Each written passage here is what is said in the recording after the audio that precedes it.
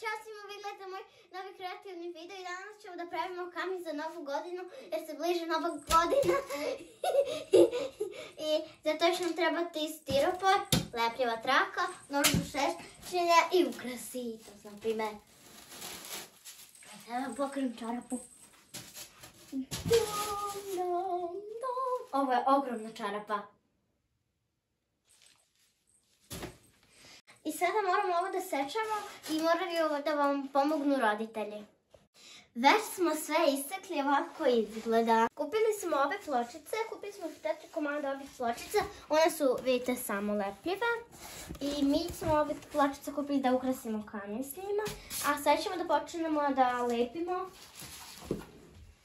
I sad ćemo da počnemo da lepimo lepkom.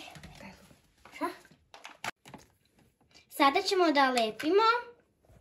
Evo vidite ovo kako nam izgleda i počinjemo. Već, već smo sve zalepili, ali gornji deo nismo, jer ćemo prvo da zalepimo ovo, pa onda ćemo gornji deo da zalepimo. Smo nalepili, vidite, i sad ćemo da ovdje nalepimo, pa onda ćemo na kamen, ceo drugi deo.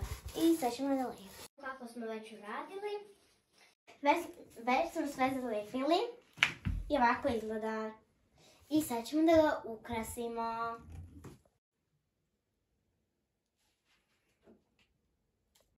Evo što smo napravili, ovako sve izgleda.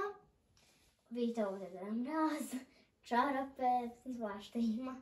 A ovo sam ja isto bila pravila ovog smeška. Stavite lajkove, pratite moj kanal. Ćao svima!